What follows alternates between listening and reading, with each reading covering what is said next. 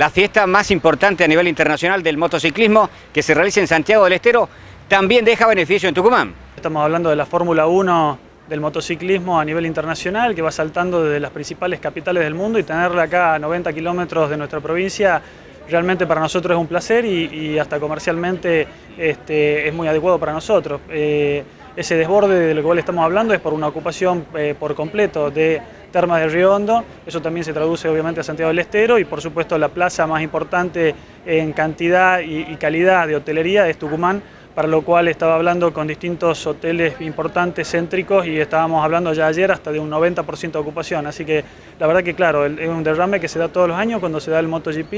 Eh, Tucumán es un gran proveedor de Termas de Río Hondo, tanto en la gastronomía, el transporte, el alojamiento, en este caso con el con el desborde que se da hacia Tucumán y bueno, de distintos servicios que se prestan en el Autódromo de las Termas.